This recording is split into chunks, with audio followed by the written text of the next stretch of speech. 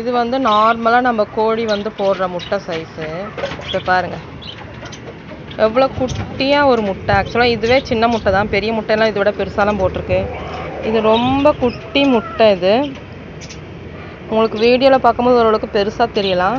But ரொம்ப குட்டி இது. நான் கிட்ட காமிக்கும்போது பெருசாக தெரியும்.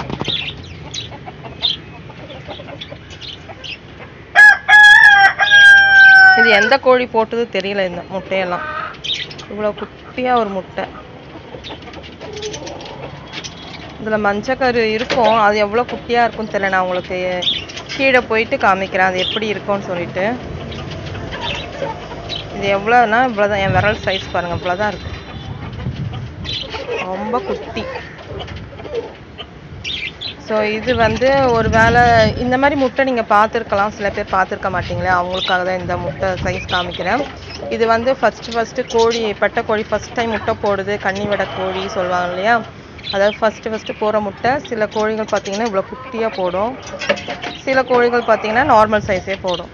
அதே போல் சில கோழிகள் வந்து நம்ம ரொம்ப வருஷமாக வச்சுருக்கோம் பெட்டை கோழிகள். அது வந்து வருஷம் ஆக ஆக என்ன ஆகும்னா அது போடுற முட்டை சைஸ் பார்த்தீங்கன்னா குறையும். முட்டைங்களும் பார்த்தீங்கன்னா போட்டு ஸ்டார்டிங்கில் ஒரு தொடர்ந்து முட்டை போடுற கோழி என்ன ஆகும்னா வருஷம் ஆக ஆக முட்டை போடுறதே வந்து கொஞ்சம் டைம் எடுத்து கம்மியாக போட ஆரம்பிக்கும். சைஸும் சின்னதாகும். இது வந்து ஒரு உள்ள கருப்பி இங்கே இருக்குது பாருங்க. கருப்பி போட்டுச்சா என்னன்னு தெரியல. கருப்பி பா பார்த்தா என்னை திட்டம். கருப்பில் இவ்வளோ குட்டியாக போடாது. எந்த கோழி போட்டதுனே தெரிலங்க ரொம்ப குட்டி. எல்லா கோழியுமே நார்மலாக பெரிய சைஸ் போடும். இது ஏன் இவ்வளோ குட்டியாக போட்டிருக்கு? எந்த கோழினும் தெரியல.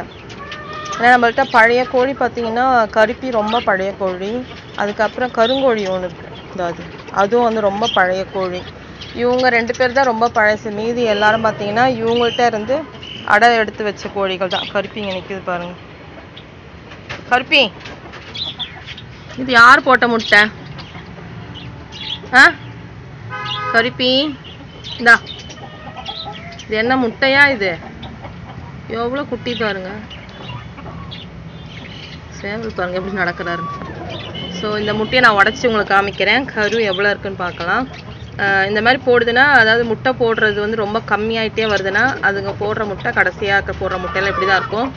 இல்லை ஃபஸ்ட்டு ஃபஸ்ட்டு போடுற முட்டையும் சில கோழிகள் இப்படி தான் போடும்.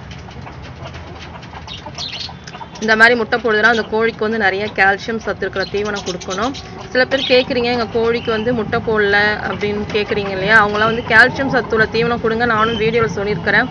அது என்னென்னு கேட்குறீங்க அதுக்கு தனியாக வீடியோஸ் இதில் நம்ம சேனலில் இருக்குது அது பார்த்துட்டு நீங்கள் அது எல்லாமே ட்ரை பண்ணி கொடுங்க. இப்போ நான் அந்த குட்டி முட்டையை உங்களுக்கு உடச்சி காமிக்கிறேன். பாருங்கள் தேங்க்யூ பபாய்